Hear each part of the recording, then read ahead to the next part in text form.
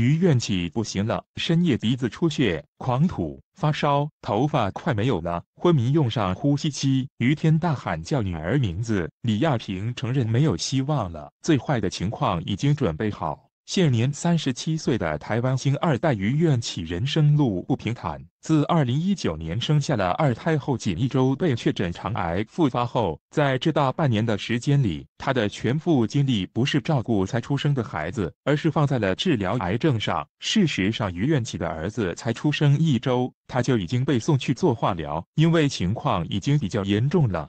癌症已经到了第四期，且发生了转移，身体多处都长满了肿瘤。医生诊断他的人生已经进入了倒计时，生存期不超过两年。不过于愿起依然很顽强的想要活下去，只为两个年纪尚小的孩子。只可惜他的情况比较严重，开刀的频率都抵不过肿瘤生长的速度。六月十七日才顺利接受了肝肿瘤的摘除手术，不到一个月的时间又再度。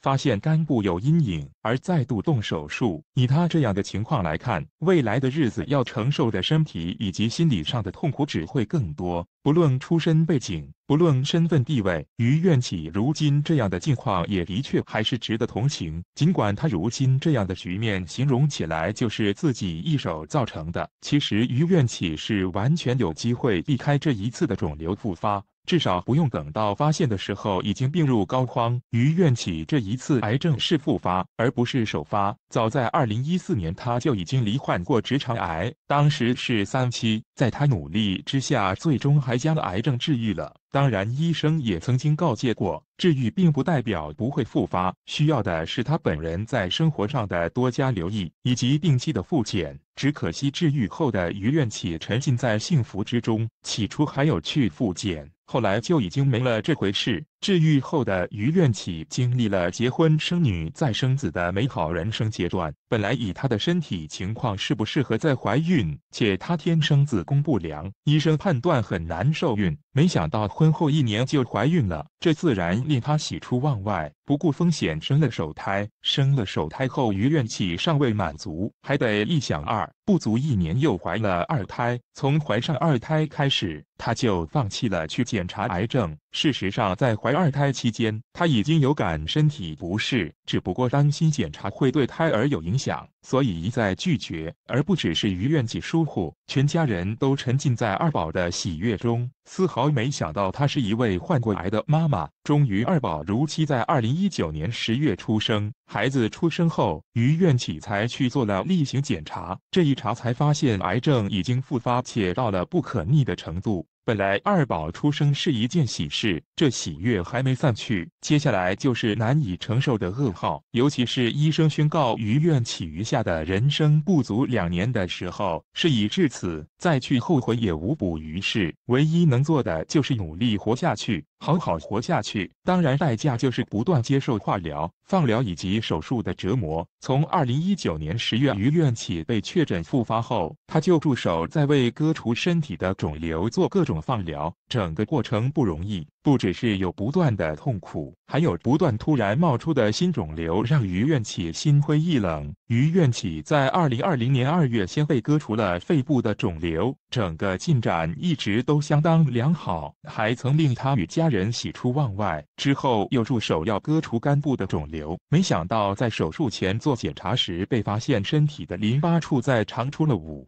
个肿瘤，其中还有一颗是恶性的。当时的当务之急就是要把恶性肿瘤切除，肝部肿瘤手术一直被推迟。之后因为癌细胞居高不下，只能继续观察，直到六月整体情况恢复良好，才顺利摘除了肝部肿瘤。总以为在摘除了肝部肿瘤后，于院起的病情得到了控制，他还一度出院回家与家人团聚。然而在早前回医院复诊的时候，又再度发现肝脏处有阴影。这一次医生连检验都不检。燕直接要求他割除，也就说，距离他上一次手术不过一个月的时间，他又在近日动了第二次手术。虽然是比较低调，但是还是被媒体发现。而这一消息也得到了他的母亲李亚平的确认。对于如今于愿起一家人来说，已经没有什么事需要再隐瞒的，所以于愿起的母亲李亚平很大方承认女儿再度动手术的这件事。真是可怜天下父母心。李亚平在提起女儿再度手术这件事时，满脸忧伤，不断叹息，为女儿深感难过，直言这条路走的实在是太艰难了。其实于愿起一点都不勇敢，如果不是为了两个孩子，他早就已经放弃了这条痛苦的路子。即便如今他鼓足了勇气接受治疗，但是每一次来医院都是百般抗拒，宁可选择居家堂，也不想在医院。